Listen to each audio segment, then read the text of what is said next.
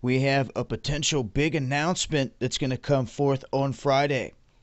Now, the Bulletin of Atomic Scientists, that's BAS, has declared it will make a major announcement when it meets Friday morning to decide whether to move the doomsday clock hands.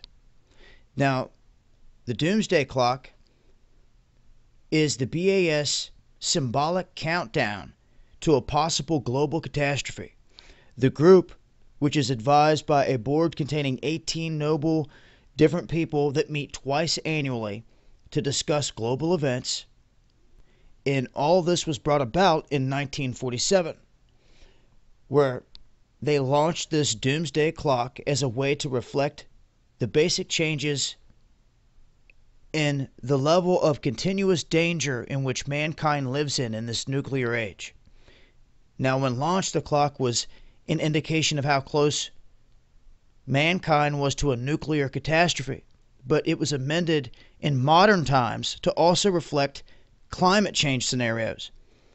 Now, it doesn't change every year. In fact, the group has only moved the minute hand four times this century.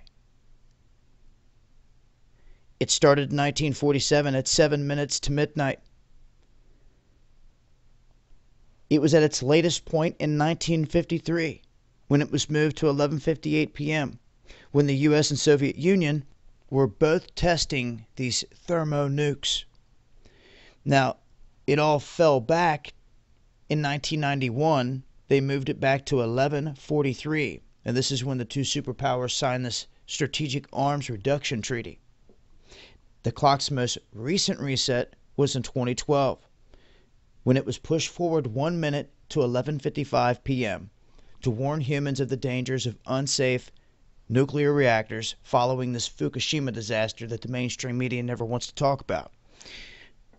So that's where it sits. Okay. They said the latest was to 1155. The highest it's ever been is 1158. It's going to be very interesting to see where they set this on Friday morning and the reasons that they give.